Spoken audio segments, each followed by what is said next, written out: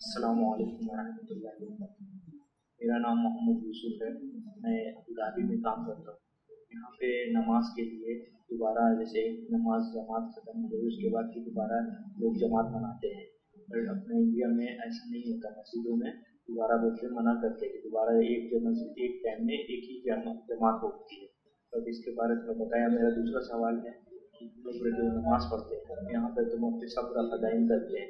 But अपनी India में ऐसा नहीं होता कि रफादाइन नहीं करते तो तक आप बिना रफादाइन के भी नमाज़ सही है ये क्या है, उसके बारे में थोड़ा बताएँ। असल वरहमल ये हमारे भाई हैं जो दुबई से सवाल कर रहे हैं। इन्होंने दो सवाल किए हैं।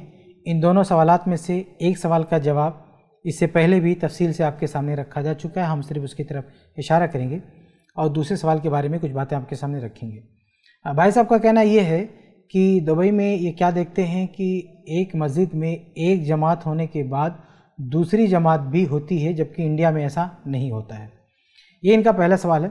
दूसरा सवाल इनका ये है कि दुबई में ये लोगों को रफुलदैन करते हुए देख रहे हैं। तो ये सवाल ये कर रहे हैं कि इंडिया में तो रफुलदैन लोग नहीं करते हैं, यहाँ पे रफुलदैन क्यों करते हैं, इसकी क्या वजह है? तो कुल मिलाकर इनके दो सवाल हैं। जहाँ तक इनके पहले सवाल की बात है कि वहाँ पे आप ये देख रहे हैं कि एक मस्जिद में एक जमात होने के बाद दूसरी जमात भी होती है। और इंडिया में ऐसा नहीं होता है। तो मैं आपसे ये कहूँगा कि इंडिया में भी ऐसा होता है, लेकिन आपके मुशाहे में नहीं है। लेकिन इंडिया ही में बहुत सारी मसाजिद हैं। मिसाल के तौर पर अहल हदीस मसाजिद में आप जाएँगे तो आपको बहुत सारी ऐसी मसाजिद मिलेंगी, जहाँ पे एक जमात होने के बाद अगर दोबारा कुछ लोग ऐसे आए, जिनकी नमाज़ किसी उज्र की वजह से, किसी परेशानी की वजह से छूट गई थी, वो अगर इकट्ठा होते हैं तो एक साथ जमात बनाते हैं। ये बहुत सारी मसाजिद में ये मामूल है और बहुत ज़माने से ये होता आ रहा है, लेकिन ये आपके मुशाहे में सिर्फ़ नहीं आया। तो वहाँ भी आप देख रहे हैं और यहाँ भी ये चीज़ें हो रही हैं, लेकिन आप ऐसे माहौल में रहे नहीं हैं। और ये चीज़ सही हादी से साबित है। जैसा कि किसी और सवाल के जवाब में हमने आपके सामने तफसील रखी है। आप उस सवाल का जवाब देख लें, आपको इन पूरी बात मालूम हो जाएगी।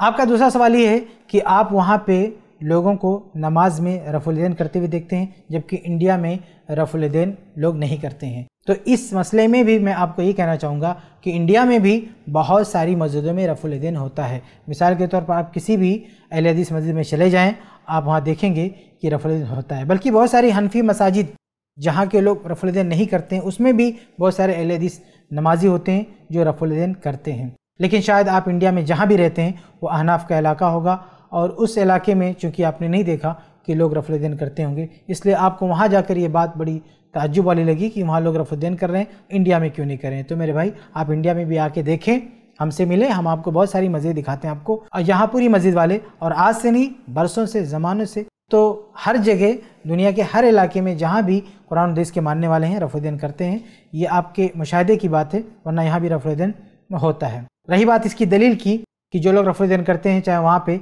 चाहे यहाँ इंडिया में, वो क्यों करते हैं? उसकी वजह है कि ये चीज़ अल्लाह के नबी सल्लल्लाहु अलैहि वसल्लम से और सहाब कराम रदी अल्लाह से साबित है।